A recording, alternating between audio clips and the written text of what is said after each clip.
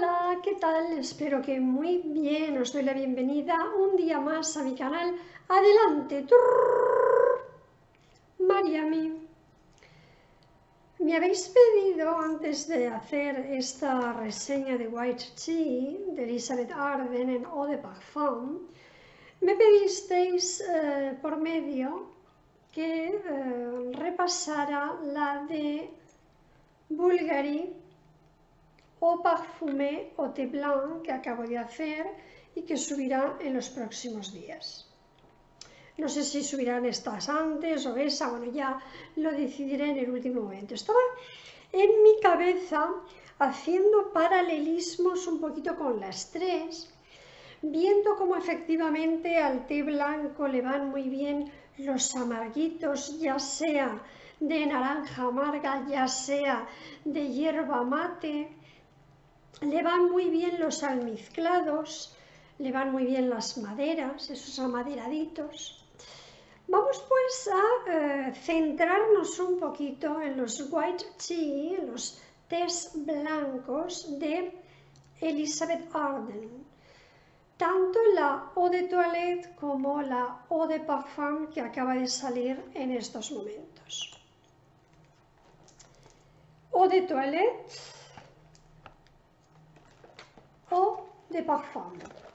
Aquí están las dos. Bueno, la eau de toilette, como veis, la compré en un tamaño algo más pequeño, de 30 mililitros, y esta es de 50.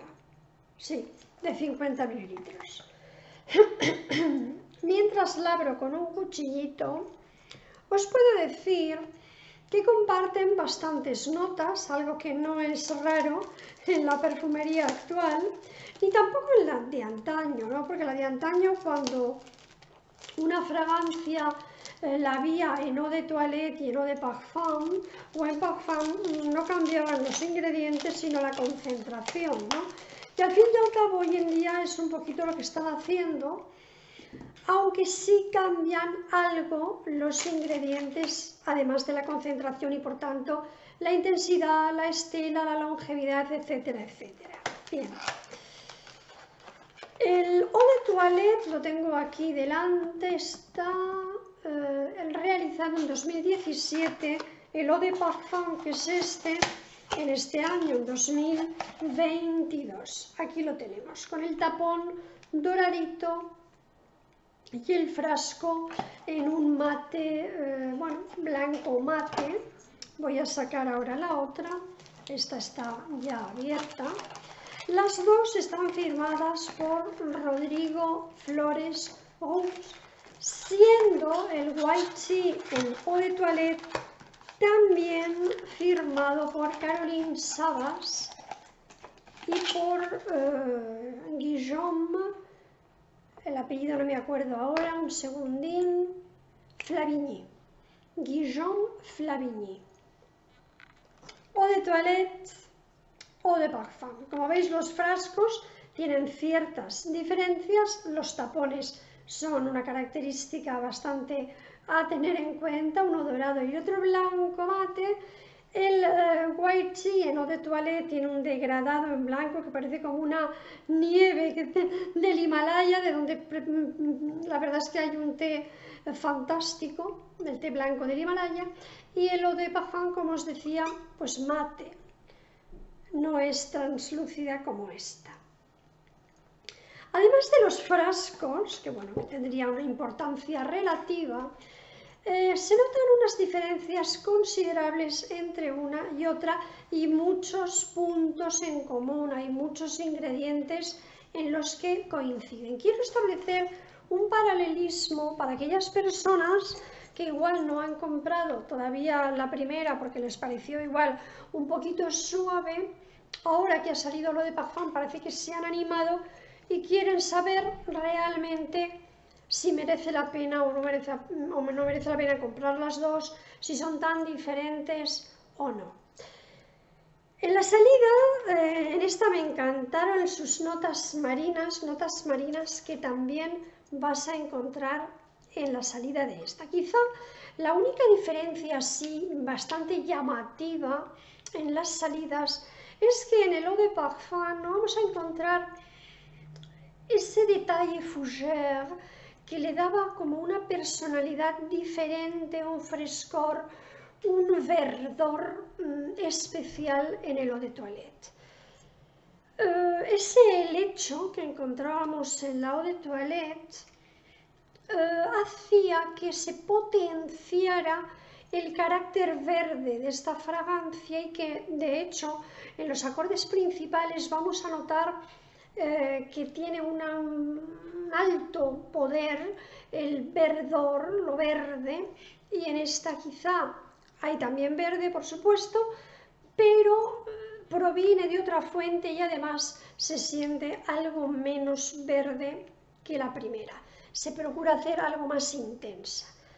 También las dos coincidían en las notas marinas, hemos dicho, en la mandarina italiana, mandarina, mandarina italiana y en la salvia esclarea que llevan las dos. Con lo cual, en la salida podríamos decir que realmente solamente es el helecho lo que cambia, aunque siendo solo el helecho, yo sí considero que tiene una importancia considerable el haber quitado esa nota fougère que a mí personalmente me seducía mucho de esta fragancia. Os decía que el té blanco, quizá porque enseguida amarga un poquito, es decir, en cuanto te pasas de infusionado, ya sea en tiempo o en temperatura, mm, amarga enseguida. Es una, una hoja muy delicada, hay que tener muchísimo cuidado con el té blanco. Mm, le va muy bien la nota amarguita. Por tanto, la hierba mate que llevan las dos va a potenciar el poder disfrutar más del té blanco delicioso que tienen estas dos fragancias. La de Bulgari también tenía un té blanco del Himalaya espectacular, lujoso y maravilloso. Lo que pasa es que en esta de Bulgari el amargor más que de hierba mate nos provenía de una naranjita amarga deliciosa que le daba verdorcito, un poquito de amargor y también esa alegría cítrica de la naranja, con lo cual aquí se va a sentir eh, un amargor propio de la hierba mate que puede resultar delicioso y considero que es muy potenciador del aroma delicado del té blanco. Además de además de la hierba mate, en esta preciosísima fragancia había una nota que a mí me enamoró, me volvió loca, pero loca como del revés, que era un iris blanco que atalcaba, pero atalcaba a su manera. Era un atalcadito diferente al típico iris más en tonos azulados, más en tonos liláceos. Este, este iris era muy especial, era muy diferente. Eh, la nota fougère de la salida, el iris, el iris blanco del corazón, no sé, tenía una gran personalidad. Creo que, no sé si hice la reseña, pero si no la hice, cuando compré esta fragancia me arrepentí de haberla comprado en frasquito pequeña, en pequeñito, porque me imaginé que iban a salir más. Mm, ahora ha tardado bastante, pero bueno, ha salido de hecho lo de Parfum. Pero también me imaginé que iban a salir más flankers, con lo cual pensé, si va a salir mucho flanker, mejor comprar, porque los suelo comprar todos, mejor comprar tamaño pequeñito, ¿de acuerdo? ¿Qué tiene esta? Que la diferencia de esta, que desde mi punto de vista mm, le da otro tipo de personalidad. Aquí siento una agua de rosa, siento un jazmín que también lo sentía en esta fragancia, unas flores blancas delicadas y el agua de rosas no le da una fuerza rosa, sino una agüita. Estamos hablando de uno de parfum y quizá yo habría esperado más que agua de rosas, rosas como tal, ¿no? aterciopeladas quizá, delicadas, lechosas, incluso casi lactónicas, pero eh, bueno, eh, se siente más como agua de rosas fresquita, como si proviniera en una fórmula o de una pirámide olfativa de eau de cologne más que de eau de parfum. Por tanto, digo, la salida me gusta más esta y el corazón me gusta también más esta. Esta es preciosa, pero como más predecible, menos sorpresiva, y ya sabéis que a mí me gusta que los aromas me sorprendan. Bien, vamos a pasar al fondo, que quizás sea, pues como suelo decir, el fondo es el mensaje del aroma, lo que te queda en el remanente, en el secado, cuando pasa la salida, termina el corazón y comienza realmente a sentirse ese recuerdo olfativo que te van a dejar las dos fragancias. Por un lado, el eau de toilette tenía unas notas muy de perfume serio, tenía un narciso atractivo, un narciso muy seguro de sí mismo, con una retama de olor deliciosa, herbácea, bella. A mí, a mí es que me la retama de olores que me encanta, me parece absolutamente bucólica, me parece romántica, me parece preciosa.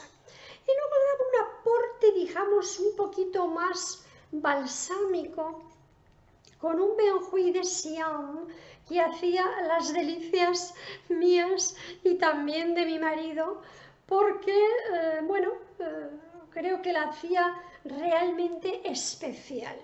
Es una fragancia que Gloria me comentó. Dice, mira, es delicada, pero eh, por muy moderada que sea, por muy suave que sea, tiene una personalidad, tiene un, tiene un algo, tiene, yo no sé qué tiene, que a mí me vuelve loca y realmente la comprendo porque, porque es una fragancia, una fragancia realmente bellísima.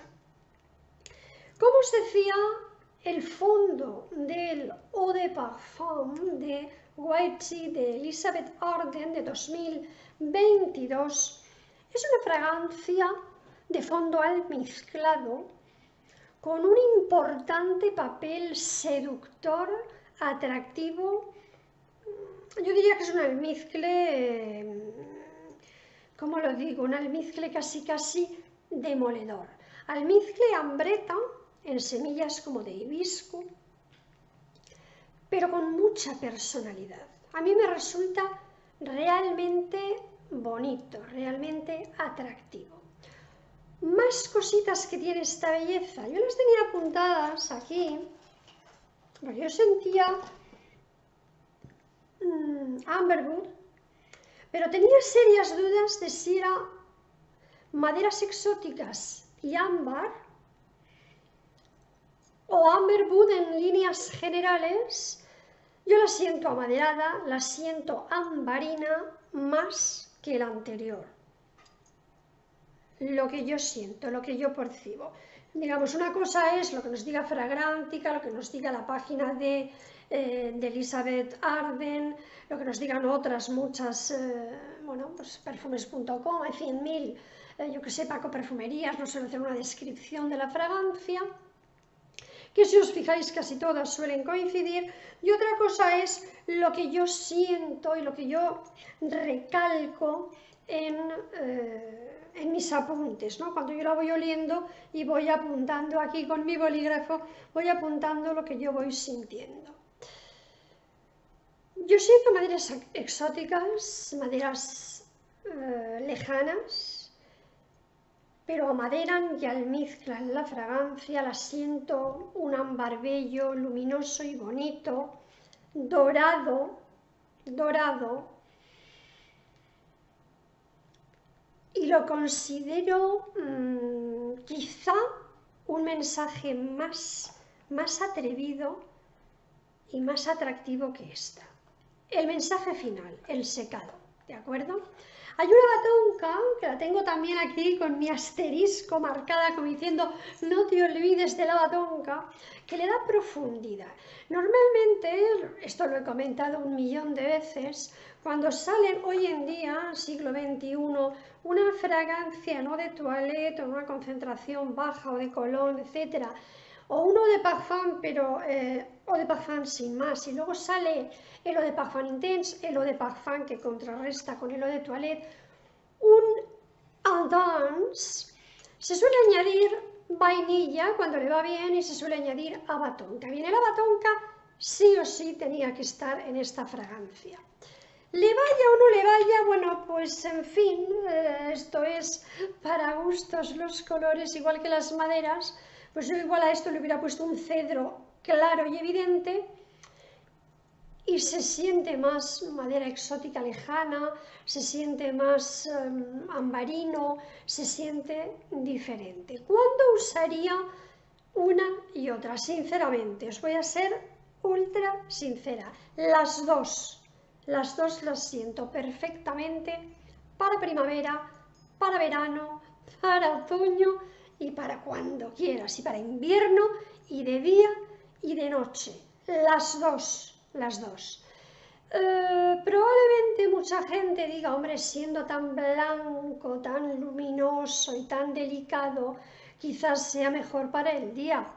De acuerdo, pero tienen una sensualidad y una delicadeza a flor de piel que se potencian un poquito con un abrazo, con una caricia, con, con un calor, ¿no? Y yo las siento muy que en un abrazo ganan, que por la noche mm, podría ser una fragancia muy seductora tanto para hombre como para mujer. Bueno, ya sabéis que a mí me importa poco que digan, esta fragancia es de mujer, esta fragancia es de hombre. Yo esta fragancia, las dos las siento absolutamente unisex y es mi opinión. Y como mi opinión, queda. Quizá el secado de la eau de toilette nos invitaba más hacia la noche, pero el almizcle seductor del eau de parfum, mm, almizcle ambreta, quizá no sea un almizcle blanco, un almizcle digamos más vegetal, pero es que a mí me resultan muy atractivas las dos. Longevidad, Estela. Hemos ganado algo en longevidad, realmente lo de Parfum yo lo considero algo más duradero que, eh, que lo de Toilette, ¿de acuerdo? Y en cuanto a la estela, eh, bueno, eh, es que la estela, a ver, la, la, primera estela fue delicadita y como delicadita la dejaré. No obstante, Gloria me comentaba, no entiendo que digan que esto es suave, porque en mi piel yo no sé si es que es mi piel o qué, la potencio mucho, efectivamente. A mí me queda suave, en otras pieles quizá más jóvenes se potencia más y se siente más, con lo cual a mí esto de la longevidad y la estela pues depende del, tipo de piel, depende de, la dermis como la tengas en el sentido no solo del pH, porque el pH es un factor entre 50.000 factores que nos puede dar la piel. Desde luego la capa lipídica es, considero, bastante más importante y casi nadie lo comenta, ¿no? Es decir, mm, eh, lo, lo nutrida que tengas tu piel, si es más seca, si es más grasa, si es en una zona determinada y el resto es mixta, con lo cual mm, depende de dónde te la vayas a aplicar, depende de si es una zona de piel muy delicada, pues por ejemplo en el escote, pues obviamente eh, se va a potenciar, se va a absorber mejor, con lo cual es probable que tenga una mayor longevidad.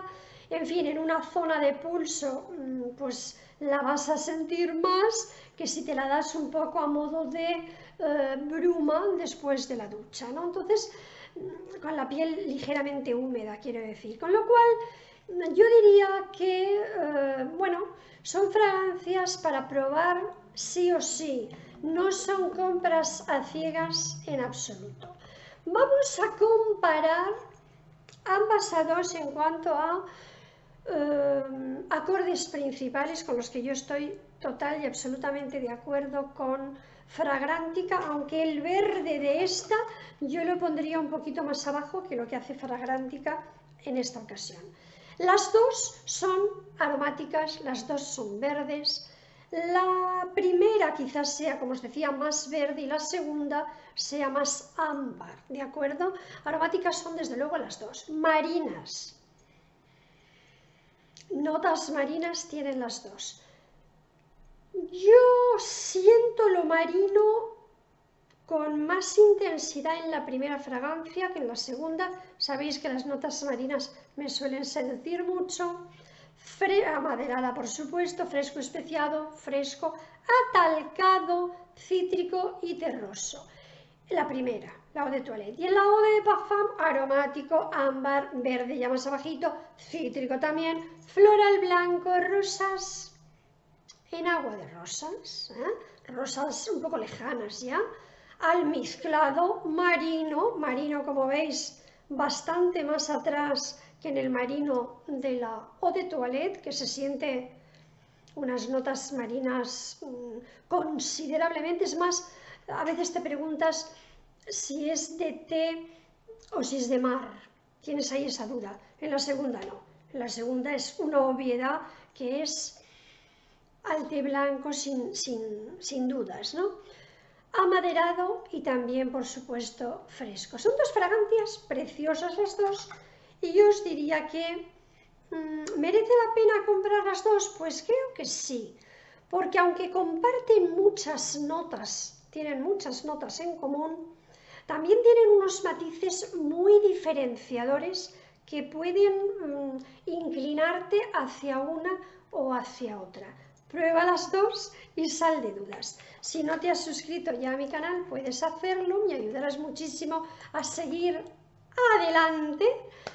Comparte mis vídeos, lo que también me ayuda, manita arriba y coméntame aquí abajito con cuál de las dos te quedas. O quizá te quedes con otra de otra marca también de té blanco. A mí estas dos me parecen preciosísimas, las dos. Creo que son un acierto seguro, las dos suaves, delicadas, bonitas, pero con una estela que se percibe, que quizá no proyecte demasiado, pero proyecta de una manera muy elegante y eso también hay que tenerlo en cuenta a la hora de perfumarse. Gracias por vuestra atención. Un beso, chao, hasta luego.